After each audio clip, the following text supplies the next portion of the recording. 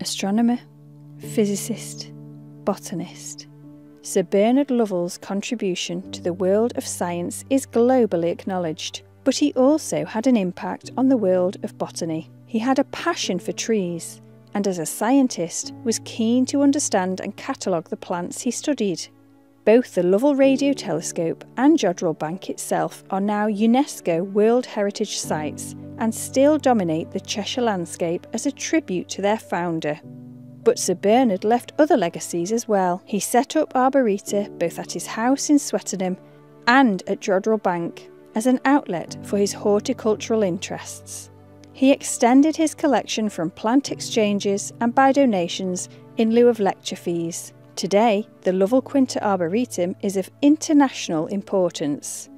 This is its story.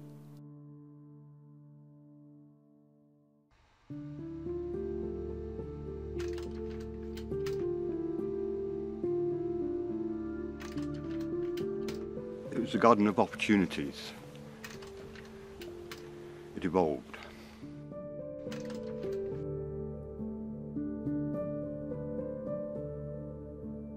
I'm not sure how, what drove him to, to expand the original garden, but I do know that once he started there was no stopping. In 1948, a young radio astronomer named Bernard Lovell bought the Quinta a country house in the village of Swettenham, near Congleton in Cheshire. Although he was heavily engaged in the setting up and running of Jodrell Bank Telescope at the time, as a keen horticulturalist, he also made time to develop his garden near the house. I remember it as a as an evolving, growing garden. Now it's in it's in its middle age now. So beautiful, but so so different from my earliest memories.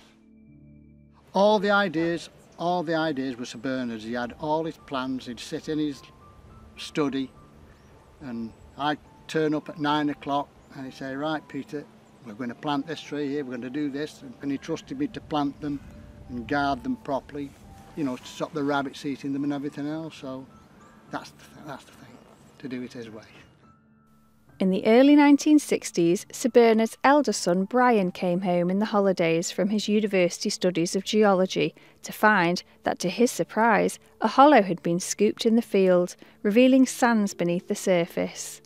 Sir Bernard was planning the creation of a lake, but the sandbed proved to be highly porous. The solution to the problem was both obvious and time consuming. The hollow had to be filled with impermeable clay which involved hard work from the whole family, including Sir Bernard's wife Joyce and children Susan, Brian, Judy, Roger, and Philippa, as well as many unsuspecting visitors. It was hard work. The fire brigade came and attempted to fill it after it had been excavated, but within seconds it had emptied because it was just sand. So we had lorry loads of clay delivered, and anyone who uh, dared to visit the, the family were, were marched down here and given a pair of wellies and asked to get on with it. yeah, you had to be quite brave to come and stay with mum and dad in those days. the lake is still a special place for all the Lovell children decades later. Roger and his sister Judy remain very fond of the area where the lake is now, and in particular the hollow oak trees at the western end. Visitors to the house were delighted to walk around the lake, take a rowing boat out on the still waters, or just sit on a bench and watch the varied wildlife. That's a place where he'd sat before with Lady Lovell and he'd watch the lake and the, he loved he loved the, the birds and, and in the springtime of course that was the breeding place for frogs. Once all the hard work on the lake was finished, Sir Bernard planted the western half of the old Quinta field with avenues one on each side of the new water feature, commemorating his 1958 Reith Lectures for the BBC and his knighthood in 1961. He had the idea of building these avenues and just went ahead and did it. Sir Bernard were always after some help and one day I was available for some help for him and we started with the Manchester poplars down the other side of the lake then we started with, the, uh, I think it was the Birch Avenue. Uh, the Great Avenue was planted in the 90s with the Scouts. We, we planted all that. It was Sir Bernard's vision to have a three quarter mile as he called it, stretch along there. In 1996, at the age of 83, Sir Bernard decided to pass his life's work to other guardians, and the Cheshire Wildlife Trust acquired the freehold. They had it for a little while, but felt that their expertise was more in wildlife conservation than, than looking after a tree collection. And it was decided that uh, the Arboretum should come over to Tatton Garden Society. Sir Bernard was still living at the Quinta and remained active on the site. Over a period of a few years, it became apparent that more in the way of skilled work needed to be done at the Arboretum, and Roderick Taylor came on board to carry out day to day maintenance and curation of what had become an internationally important collection. The collection at the Lovell Quinta Arboretum was really based on the four volumes of Trees and Shrubs Hardy in the British Isles, uh, which was a series of books listing the trees and shrubs that literally would survive in generally throughout Britain.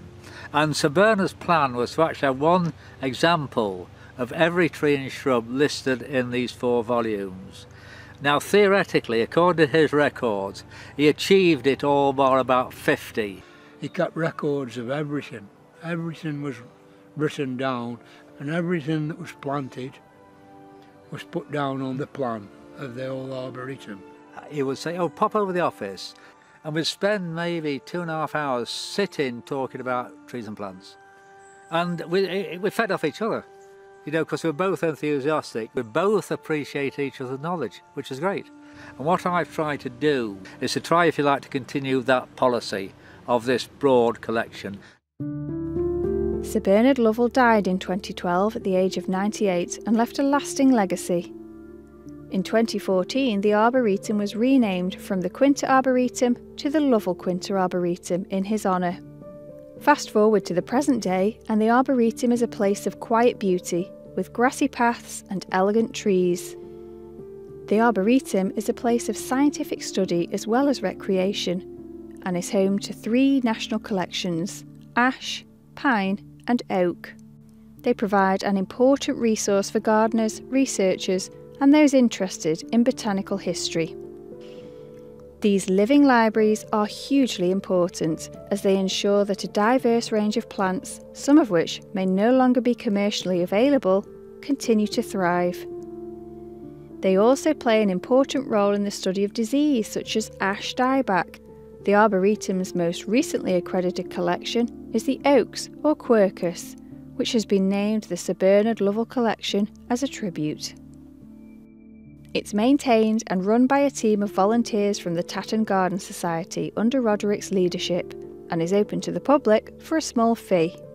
We're delighted if people become members and support the society, but anybody can come and visit on 364 days of the year. We obviously operate through curator and, and volunteers, the maintenance of the Arboretum is quite expensive, so we are dependent on those donations to, to keep the Arboretum uh, open, particularly for those who are looking for tranquility or for those who, who want to learn about trees and shrubs. The Lovell family remember their childhood with great fondness, and for Roger, it's a source of continuing pleasure that the view from among the trees remains unchanged Modern day visitors can still enjoy the same view today as they stroll among the avenues of majestic trees of this special place and enjoy Sir Bernard's legacy. Who started it? Sir Bernard Lovell. And I think people have an absolute great respect for him. To be part of this and what it's become now has been fantastic because it's just nice to see so many people enjoying it because the garden were very private, Sir Bernard were very private and he only opened them occasionally when special visitors came along like the Duke of Westminster which was fabulous. But uh, come along now as we do, Cynthia and I, and look at all the trees and a good majority we've planted or I've planted and it's, it's great to see them all doing so well and everything. Thanks to the, the hard work of the Tatton Garden Society I'd like to think it's got a very bright future. I hope so.